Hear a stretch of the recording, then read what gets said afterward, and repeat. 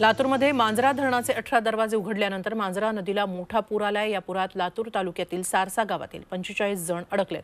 त्यांचं बचाव कार्य सुरू झालंय. घरांना पुराच्या पाण्यानं वेढा घातलाय. इथले नागरिक महिला आणि मुलांसोबत पुराच्या पाण्यात अडकले होते. लातूर जिल्ह्याच्या आपत्ती व्यवस्थापन टीमनं बीड जिल्ह्यातील आंबेजोगाई मार्गे बोट पाठवून पुरात अडकलेल्या महिला आणि मुलांना सुखरूपपणे सुरक्षित स्थळी हलवलंय.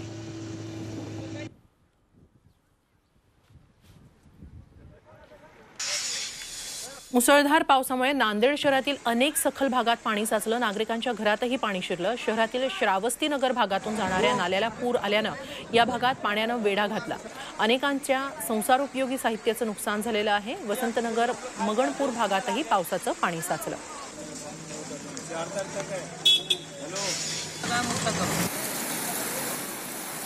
औरंगाबादच्या सोयगाव तालुक्यातील हिवरा नदीला रात्री झालेल्या पावसामुळे पूर आला. त्यामुळे बनोटी गावात सुद्धा पाणी शिरलं. रात्री मुसळधार पाऊस झाला आणि त्यामुळे नदी दुथडी भरून वाहू लागली. पूर आल्यानं गावाचा संपर्क आल्या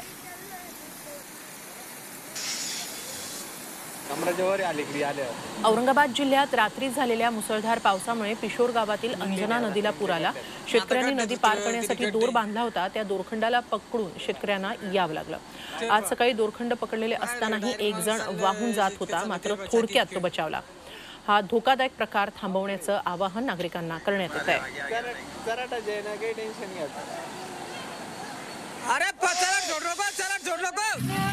बुलढाणा जिल्ह्यातही पावसानं जोरदार हजेरी लावली. मुसळधार बरसलेल्या पावसामुळे अनेक ठिकाणी नदी नाल्यांना पूर आला. पूरस्थिती निर्माण झाल्यानं बऱ्याच ठिकाणी रस्ते महामार्ग देखील प्रभावित झाले आहेत.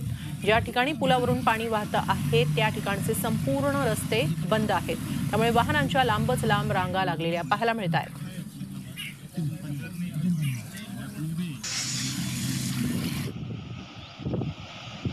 मांजरा धरणाचे सर्वच्या सर्व अठरा दरवाजे उघडण्यात आले सोळा वर्षानंतर धरणाचे सर्वच्या सर्व दरवाजे उघडण्याची वेळ आली आहे. त्यामुळे मांजरा नदीकाठी पूरस्थिती गंभीर होण्याची शक्यता आहे. माकणीतलं तेरणा धरणही शंभर टक्के भरलं आहे त्यामुळे तेरणा नदीचे दरवाजेही उघडण्यात आले त्यामुळे अनेक गावांमध्ये पाणी शिरलं आहे नागरिकांना सतर्कतेचा इशारा देण्यात आलेला आहे. मांजरा धरणाचे सर्व दरवाजे उघडण्यात आलेले आहेत. त्यामुळे अनेक गावांमध्ये पाणी शिरलेलं आहे. तेरणा धरण शंभर टक्के भरलेलं आहे. सोळा वर्षानंतर धरणाचे सर्व दरवाजे उघडण्यात आलेले आहेत. त्यामुळे अनेक गावांमध्ये पाणी शिरलेलं आहे. नागरिकांना सतर्कतेचा इशाराही देण्यात आलेला आहे. मुसळधार पाऊस झाल्यानं खडकपूर्णा धरणातून पाण्याचा विसर्ग मोठ्या प्रमाणात सुरू आहे. तर परभणीच्या एलदरी धरणाच्या दहा दरवाजे उघडून बत्तीस हजार दोनशे अडतीस क्युसेक प्रति सेकंद एवढा पाण्याचा विसर्ग पूर्णा नदी पात्रात केला जातोय. त्यामुळे पूर्णा नदी काठोकाठ भरून वाहू लागली आहे. पूर्णा नदी धोक्याच्या पातळीवरून वाहतीये. नदीकाठच्या सर्व गावांना प्रशासनानं सतर्कतेचा इशारा दिलेला आहे.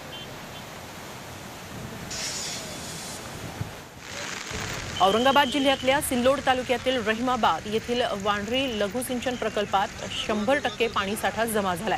त्यामुळे वांढरी नदीला आलेल्या पुरानं रहिमाबाद आसडी रस्त्यावरील पुलावरून चार फूट पाणी वाहत आहे. या दोन्ही गावांचा सकाळपासून संपर्क तुटलेला आहे. नदींचं नदीचं पाणी गावात शिरल्यानं नदीकाठच्या घराघरांमध्ये पाणी शिरलेलं आहे.